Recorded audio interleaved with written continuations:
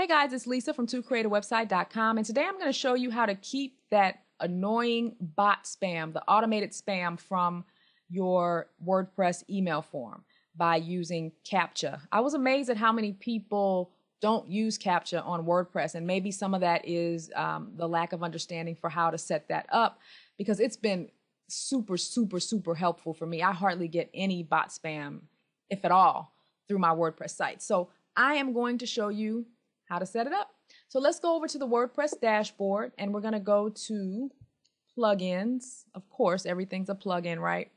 You're going to say add new and then you're going to type in contact form 7 and search. And I've already got it installed, so that's why it says update, but you would just say install now, activate, you know, the usual drill with plugins. And so it's going to place this tab over here in your admin panel. So you're going to click that and come up and say add new because we're going to create a brand new contact form and click add new again. And we're going to title this test form. And the form is actually already done. So here's the person's name, their email, subject, message, and then the submit button. And down here at the bottom where it says mail, this is where you will enter your return email address and customize the format however you want it. But I'm just going to focus on inserting the CAPTCHA because all that other stuff's pretty straightforward. So you're going to come over here to generate tag and you're going to select CAPTCHA. And what you want to do is fill out the color of your CAPTCHA.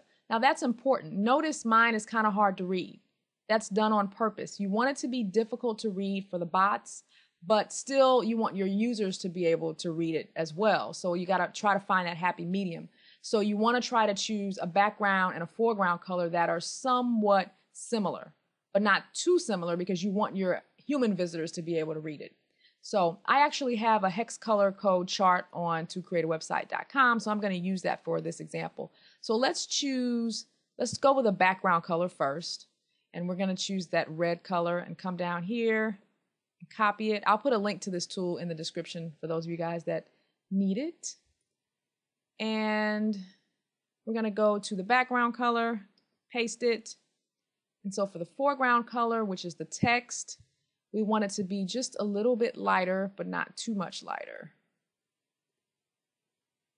So let's take that, copy it, paste it, now we can choose the size of the CAPTCHA. And that's all we really need to do. So now we're going to grab this code and copy it. It automatically generated this for me. And you're going to place the CAPTCHA right before the send button, just like mine is here.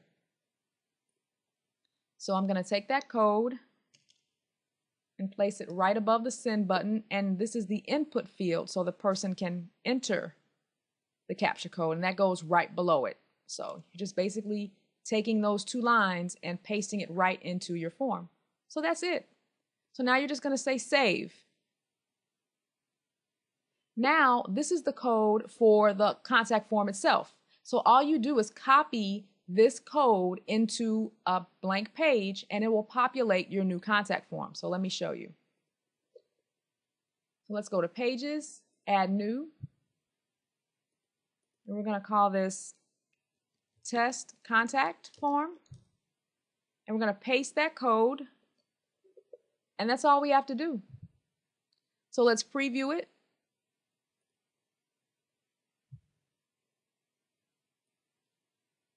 And there's our CAPTCHA code. Notice it's kind of hard to read. I probably should have put a little bit more contrast in there, but you get the idea. So if a spam bot or a human being tries to submit your form without filling out the CAPTCHA, they'll get an error. It says your entered code is incorrect. So the person has to enter the code before the mail is sent.